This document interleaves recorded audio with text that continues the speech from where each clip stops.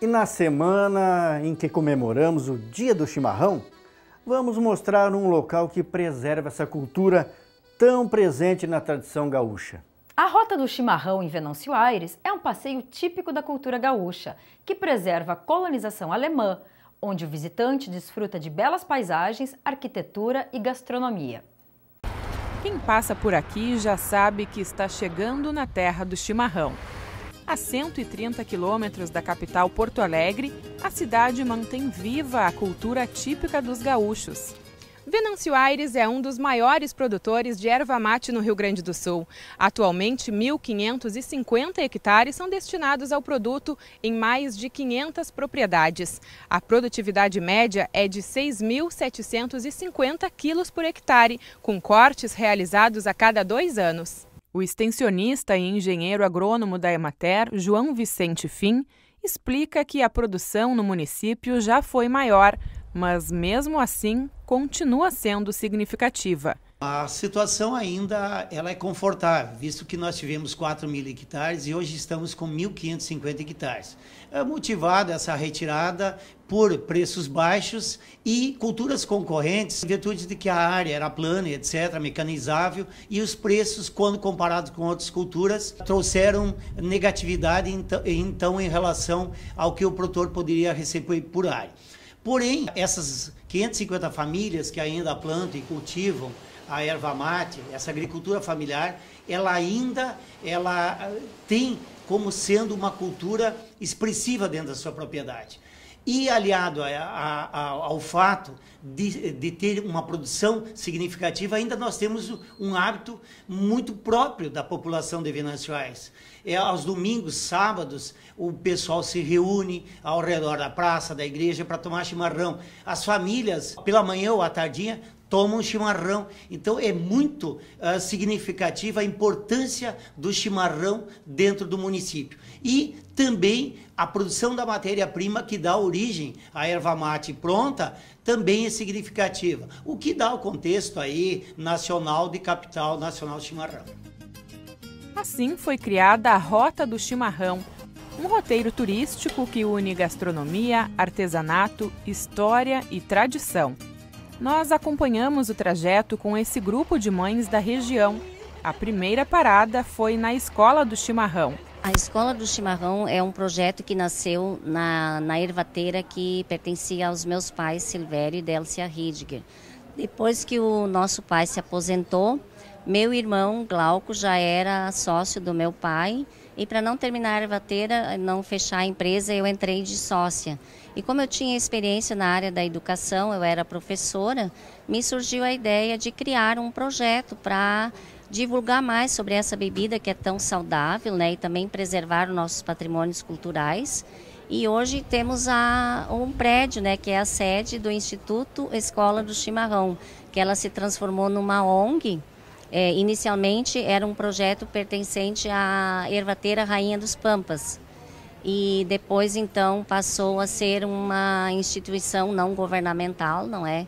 Instituto Escola do Chimarrão e está funcionando onde foi a primeira fábrica de erva dos meus pais. A gente recebe visitantes do todo o estado, mas o que mais a gente recebe são escolas, tá? que vêm a grupos de 30 alunos com, acompanhados com os professores, e aí vem de diversos lugares do estado a Santa Maria, Cachoeira, Porto Alegre e grupos de terceira idade. Tá muito legal, né? Eu nunca tinha vindo para cá, mas está legal mesmo.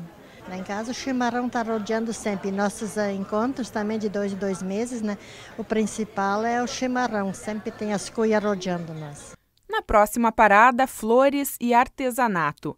A floricultura Flor da Terra é a realização de um sonho da Marlene, que administra o trabalho em parceria com o marido. Nada, a Marlene há muitos anos sempre tinha um sonho de produção de mudas de flores, gostava, daí depois que eu saí da, da ervateira, nós iniciamos a nossa atividade em 2001. E hoje nós continuamos a Marlene no artesanato, mas aqui também, trabalhando junto, né? Sempre brinco com ela, quando ela descansa, ela carrega a pedra, né? Mas sempre está dando uma mão. Então a gente está, com hoje, produzindo mudas de flores, hortaliças E agora, com o apoio da Emater, nós estamos partindo para a produção de mudas de morango. Marlene, e essa floricultura então é um sonho que se tornou realidade na vida de vocês? Eu gosto muito assim de trabalhar com a terra, né? Parece que aquilo ajuda até na parte emocional, né? A gente já sempre procurava assim ter um jardim bonito. Depois o nosso filho foi estudar agronomia, daí ele foi trazendo algumas novidades, experiências.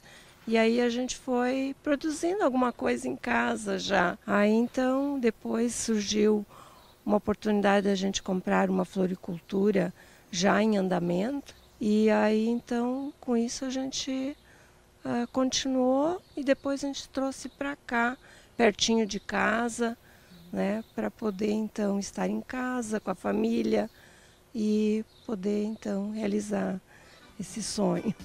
E da amizade que começou na infância de Marlene e Iracema, surgiu o artesanato Mil Ideias, que também faz parte do roteiro.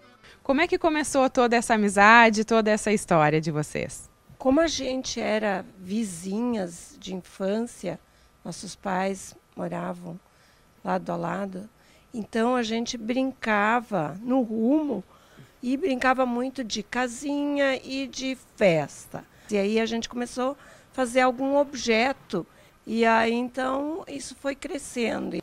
E aí a gente foi participando de feiras no município.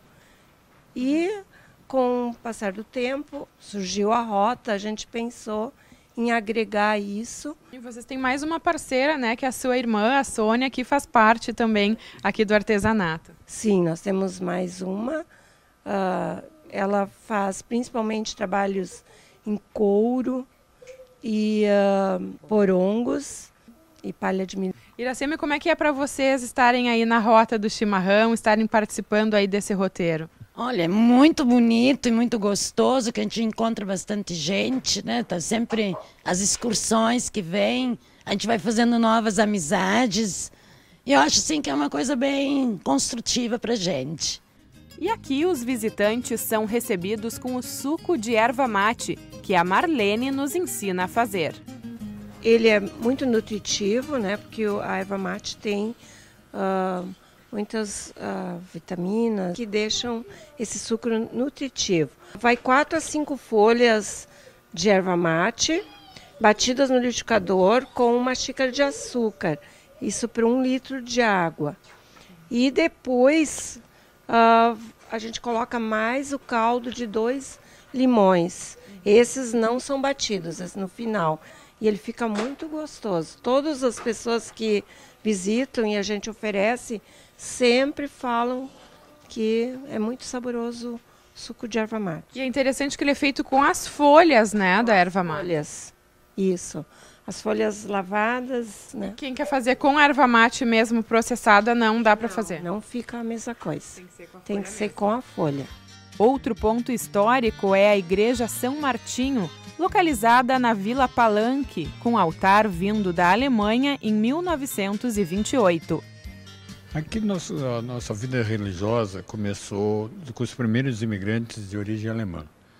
Aí foi construída a capela escola, depois foi construída a nossa antiga capela, construção de 1926.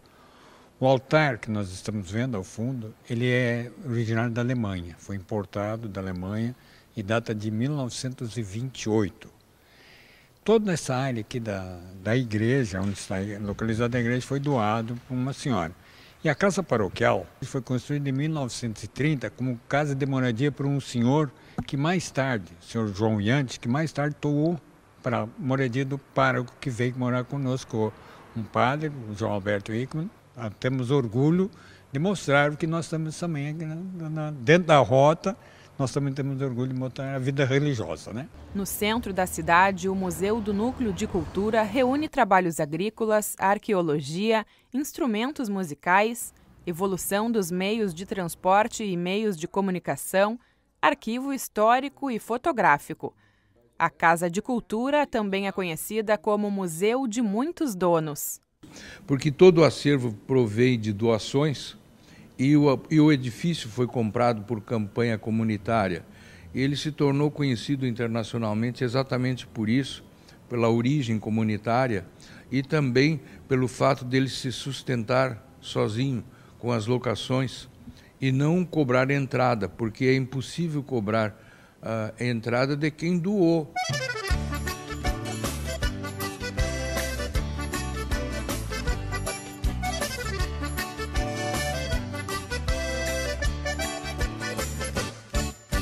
Me dê um chimarrão de erva boa, que o doce desse amargo me faz bem. O amargo representa uma